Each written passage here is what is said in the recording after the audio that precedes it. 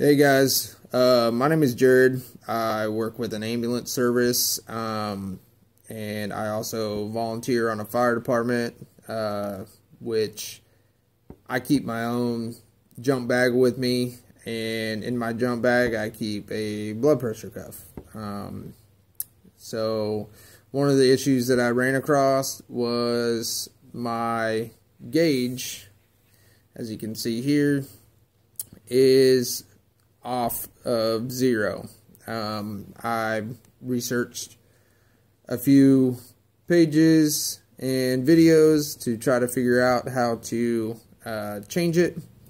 A lot of the cuffs that are out there um, will actually have this little nipple on the end that actually connects to the artery uh, line for the bladder.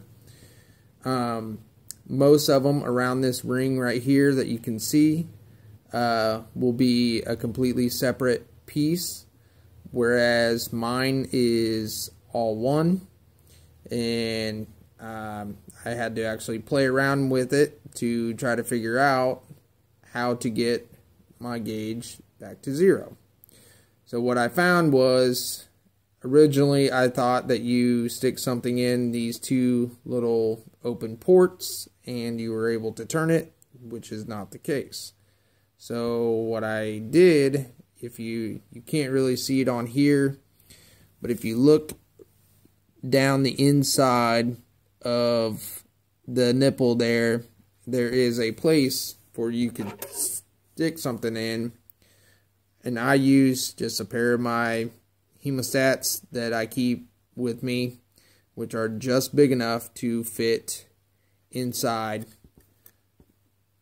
to be able to change it back to zero. So once you stick those in there, you can get some resistance and then you're able to move that gauge back to the, the desired spot. So right there for me looks to be about good.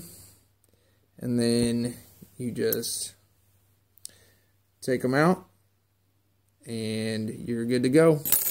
And then you are able to reapply your blood pressure cuff to your bladder and to your gauge. Hopefully, this helps you. And if you have any other questions, uh, feel free to send a message.